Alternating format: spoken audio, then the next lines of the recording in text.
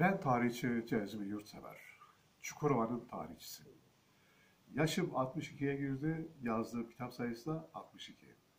TÜYAP kitap fuarında okuyucularla buluşmak, sohbet etmek ve kitaplara imza atmak benim için dünyanın en güzel olayı. TÜYAP fuarına geldiğinizde göreceğiniz birkaç kitabı size tanıtmak istiyorum. Çukurovalı aşiretlerin, yörüklerin, Türkmenlerin, ailelerin soy kitapları, Türklüğümüzün kitapları, Çukurova Türkmenleri. Yıllardan beri defalarca yayınladığım, çok satılan, beğenilen, aranan bir kitap Çukurova Türkmenleri. Bu coğrafyanın yüzyıllar süren Yörüklerin ve Türkmenlerin hikayesini burada yazdım. Evet, Kurtuluş Savaşı önemli. Kuvayi Milliye Kahramanı Gazi Mustafa Kemal Paşa yani Atatürk ve Kurtuluş yıllarını anlatan bu kitabı çıkarttım. Atatürk ve Çukurova Kahramanları kitabı. Adana'da yaşayanlar Adana şehir tarihini bilmek durumundalar. Tarihi eserler, önemli olaylar, vadiler, kavgalar, dövüşler.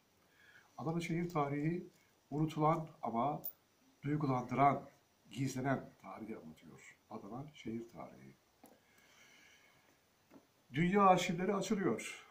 Osmanlı, Amerika ve Avrupa arşivleri çıkan belgeler bizi şaşırtıyor. İşgal günlerinde Adana Belediye binasının aldığının çatında Amerikan bayrağı olan fotoğrafı buldum. Tarsus'ta, Mersin'de, Payas'ta hemen her yerde işgal ortamında Amerikan bayrağı taşıyan grupları gördüm. Çukurova tarihini yazdım ama Amerika'nın Çukurova'yı sömürge yapma projeleri bilindiği şekliyle Fransız işgali esnasında Amerikan bayrağı taşıyanların hikayesini yazdım. Bu Çukurova'nın gizlenen tarihidir. Evet, Çukurova kitabı oldukça önemli. Osmaniye tarihi, Osmaniye yöresini anlatıyor. Her Kadirlili kendi ailesini, atasını, dedesini, soyunu araştırır. Ben de Kadirli olduğum için Kadirli insanının yüzyıllara uzanan tarihini yazdım. Ailelerin soylarını yazdım. Evet, Kadir tarihi bizim hikayemiz. Çanakkale'yi hatırlamak. Bilhassa öğrenciler için. 13 yaşında Çanakkale'ye giden, savaşan bir kahramanın hikayesini kitabın kapağından koydum. Çanakkale'yi hatırlamak, bir babanın çocuğuna vereceği en güzel hediyedir. Evet, bu Çanakkale atan güzel bir kitap. Medya dünyasında, televizyonlarda yakın zamanda Osmanlı padişahlarına küfür etmek, aşağılamak, hakaret etmek moda haline geldi. Muhteşem 100 yıl belgesel televizyon dizisini izlediğimde orada Kanuni Sultan Süleyman'a gösterilen hareketler o kadar beni rahatsız etti ki İstanbul'a gittim. Osmanlı arşivinde dosyalara baktım, belgelere baktım. Neden Osmanlı'ya saldırırlar? Neden İslamiyet'e saldırırlar? Türklüğe saldırırlar? Onları tespit ettim ve batılı oryantalistlerin veya batılı bakışın e, kötü yanlarını buldum ve bu kitabı yazdım. Muhteşem Yalanlar kitabını. Herkesin bırakması lazım. Türkiye'nin kaderinde söz sahibi olan Recep Tayyip Erdoğan ve Devlet Bahçeli'nin atalarının kökenleri hakkında Osmanlı arşivinde bulduğum belgelerden yazdım bunu. Kökler kitabını. İlaveten Hülya Avşar'ı, Necmettin Erbakan'ı yazdım. Evet, benim elde ettiğim bilgilerle yazdığım Recep Tayyip Erdoğan ve Devlet Bahçeli'nin Kökenler kitabıdır.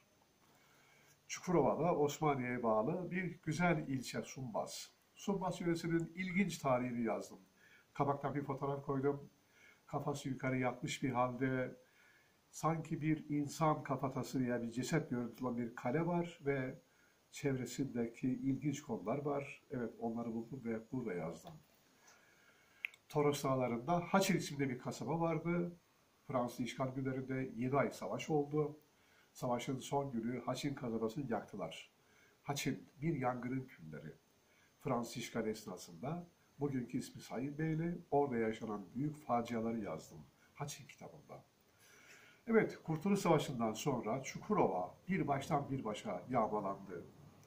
Kuvayi Milli elbisesi üzerinde olan delikanlılar dağlara çıktılar. Yüzlercesi eşkıya oldu.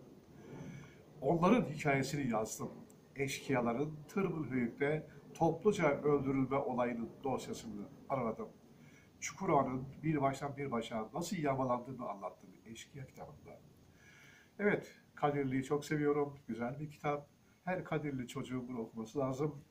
Bahçe müftüsünün idam edilmesi olayını yazdım. Müftü idam ettiler.